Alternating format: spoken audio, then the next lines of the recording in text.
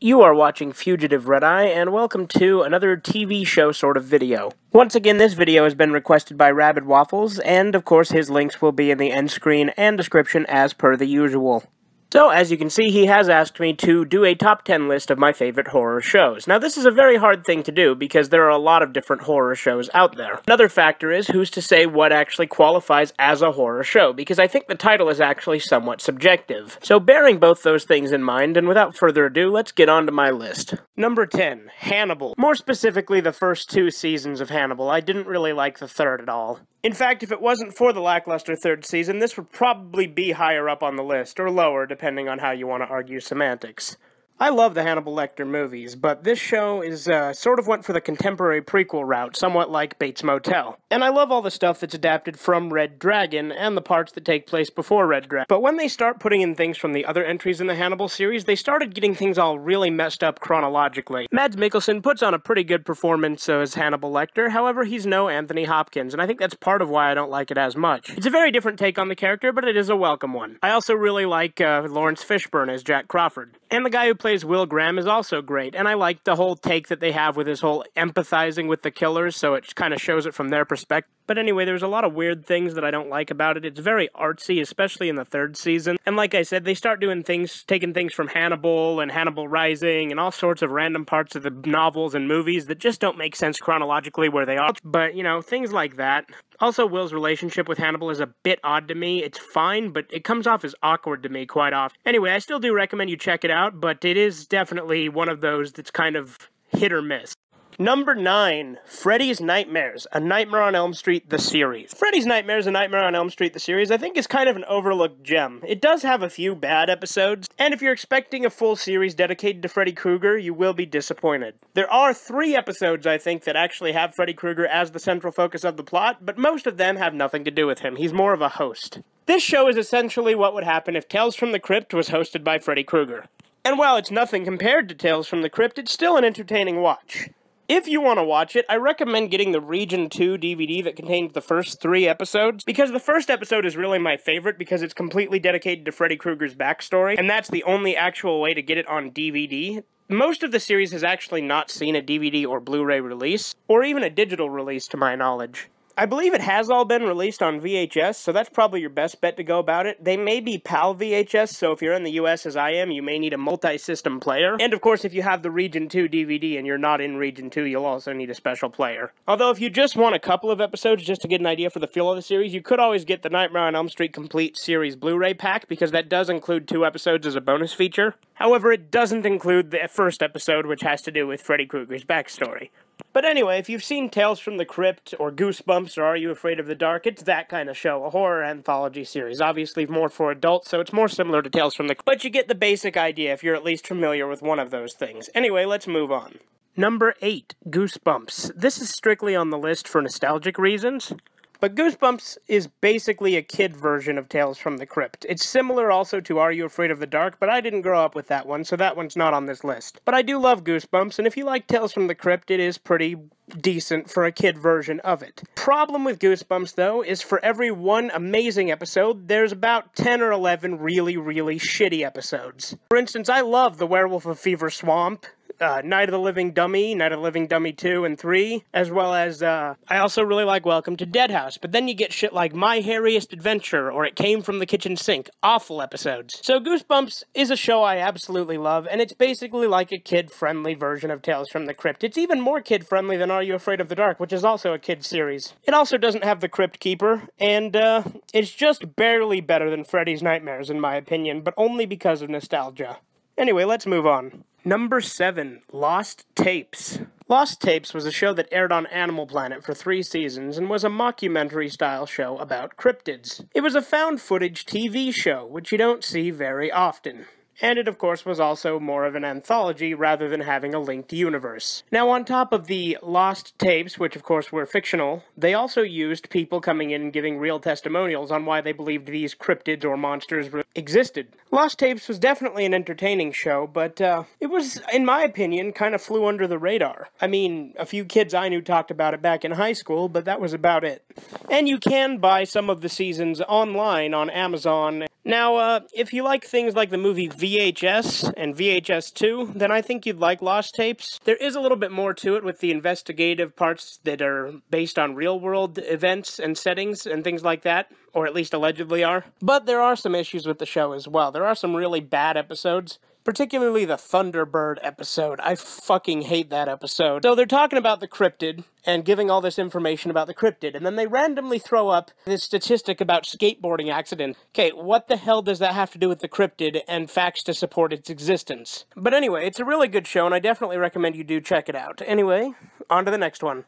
Number 6, Another. Another is an anime series, which I've mentioned briefly in a few other videos. And without spoiling, it does center around some calamity that happened in a classroom years ago, revolving around the death of a student. And ever since then, strange things have been happening there. There's this girl that you don't know if she exists, if she's a ghost, or what have you, and then there's also people just start dying. If you haven't seen it, I do recommend checking it out. It is only 12 episodes, and at the time I'm recording this, it is still available on Crunchyroll. So anyway, let's move on. Number 5, Bates Motel, or more specifically, the first three seasons of Bates Motel, because I did not like season 4 or 5 really all that much. See, Bates Motel is a contemporary prequel to Psycho, similar in a way to how Hannibal is, although Bates Motel really felt more like a prequel than Hannibal did. Because until about season 5, they didn't have any elements from the actual Psycho films until the fifth season, like I said. Bates Motel follows a young Norman Bates and Norma Bates as they move to a new motel and begin running it and dealing with this crazy town that they live with. And as the series progresses, Norman grows more and more into the insanity that we're used to with Norman Bates. This is a very good show, but I do feel it goes downhill after season 3. Season 3 was perfect, but season 4 was a very big disappointment because it was kind of boring for all the Norman parts. Then season 5, they had some really stupid twists that I didn't like, and they also, I did not like the ending really that much. I mean, it wasn't terrible, but it wasn't the greatest. Plus, it had Rihanna in it, who did better than I thought, but it's still Rihanna acting. She's not the greatest. But anyway, I still do recommend you check it out, especially the first three seasons. If you like the Psycho films, then Bates Motel's for you. Number 4, Higurashi When They Cry, also known as Higurashi no Naku Koro ni, or just When They Cry. More specifically, the very first arc, although I do love every bit of this series, with the exception of a couple of the OVAs. The very first arc of Higurashi was a very intense and dark, creepy, brooding atmosphere. I wasn't sure where all they were going, and there was all this talk of demons and the town wanting to kill the main character and all sorts of creepiness that just kind of felt right. The subsequent arcs are still awesome, as is the second season. Apart from the first arc, the second season is actually my favorite part of that series. I'm also watching a follow-up series they did called Umineko When They Cry, but it's not as good. But anyway, it's definitely something you should check out. It's a very creepy series, at least for the first six episodes, and then after that it's still a really cool series. But uh, that's about all I have to say about that. I don't want to say too much because it is spoilery, although I will say it does involve a remote village and a cult. But anyway, let's move on. Number 3, The Twilight Zone. Now, it's arguable whether or not this is actually horror. It definitely has a lot of horror elements to it, and there are some episodes that are more horror-like than others. There's also quite a lot of sci-fi to this show, but if you're unfamiliar with The Twilight Zone, you must be living under a rock, but the Twilight Zone is an anthology series, meaning every episode is a different, unrelated story from the last. The whole point of the Twilight Zone is to explore weirdness, to showcase things that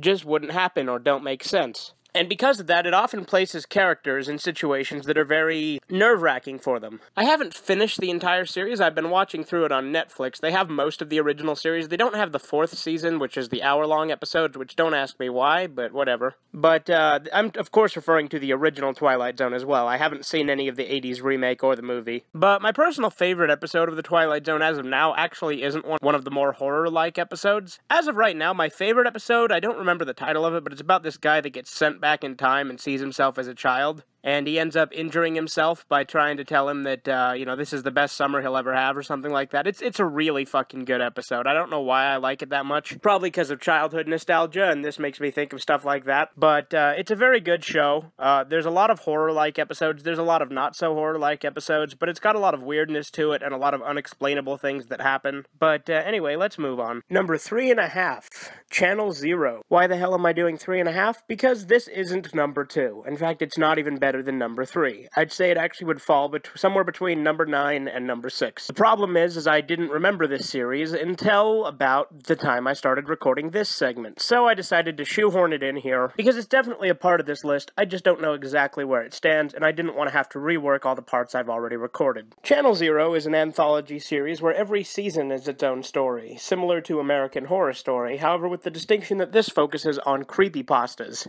Now I love creepypastas, so this show is really cool. I've only seen the first season, which was about Candle Cove, and although I don't like the payoff to that season, the rest of it was solid. And season 2 is going to be based on No End House. Judging by the trailers, I'd say No End House Volume 2, rather than Volume 1, because it has Margaret as the main character, who I think is supposed to be Maggie from the story, since Maggie is short for Margaret. But anyway, it's a really good show, and uh, I think it did Candle Cove really well. Other than that shit with the Tooth Child, and the stuff with the end where he's inside, like Candle Cove or something, I don't know, it's really weird. Most of the series is really solid. Alright, so number two is actually a tie, simply because, again, I forgot about a couple series. And I honestly can't decide which one of these is better. So, the tie is between Castlevania, the Netflix series, because that was fucking awesome, even though it was only four episodes so far, and Tales from the Crypt, because I love me some campy anthology series hosted by the Crypt Keeper. Castlevania, the Netflix series, is obviously based on the video game series of the same name. And it's got plenty of gore, plenty of violence, and plenty of disturbing imagery. I think this is probably the best American anime I've seen come out in recent years. And again, I know that's a term that may be slightly controversial amongst anime purists, but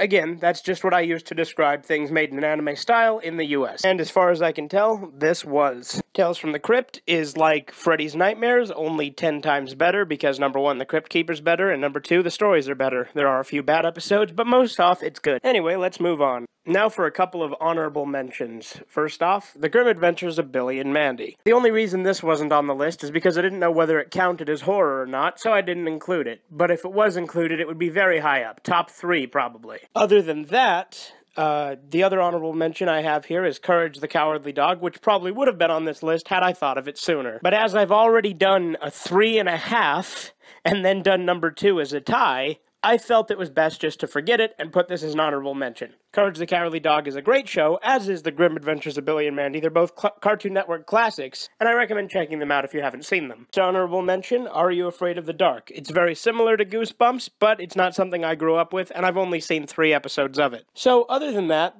uh, let's go ahead and move on to the top spot. Number one Ash vs. Evil Dead. Ash vs. Evil Dead is the follow up to the Evil Dead movie franchise, and follows the continuing adventures of Ash, the main character from that franchise. Ash vs. Evil Dead is a horror comedy much in the vein of Evil Dead 2 and Army of Darkness. The comedy is somewhere in between the two, but uh, I'd still say Army of Darkness is better. Uh, I would say I like Ash vs. Evil Dead better than Evil Dead 2, which I know is a bit controversial that I prefer Army of Darkness and Ash vs. Evil Dead over Evil Dead 2, but it's probably more controversial that I prefer Evil Dead 1 over Evil Dead 2. That being said, all the Evil Dead movies are great. Even the remake was done decently. It's not the best, but it is still pretty decent. And the remake is actually the first Evil Dead movie I saw. It's what got me into the franchise. But anyway, Ash vs. Evil Dead is great. It's got plenty of one liners, plenty of action, plenty of comedy, and a little bit of horror snipped in here and there. And of course, it stars Bruce Campbell, who is one of my all time favorite actors. But yeah, it's a very great show, and if you haven't seen it, I do recommend you check it out. Unfortunately, it is only available on Starz, so if I were you, I'd just recommend getting the DVDs or Blu rays. But other than that, it is really good, and I do recommend you check it out. But anyway, I definitely recommend you check out Ash vs. Evil Dead if you are a fan of the original series. So that's my list of my top 10, give or take, favorite horror TV shows. I also would have probably thrown in Shiki and uh, The Lost Village as honorable mentions, but again, this video has become kind of a hot mess towards the end here, but I still think it turned out okay. I do recommend all of these shows, and I do think there needs to be more good horror shows out there, but as it stands, these are the best ones here. And this list is not necessarily set in stone because there are a lot of great things out there that I may not have factored into this. But anyway, this has been Fugitive Red Eye, and you have a great day.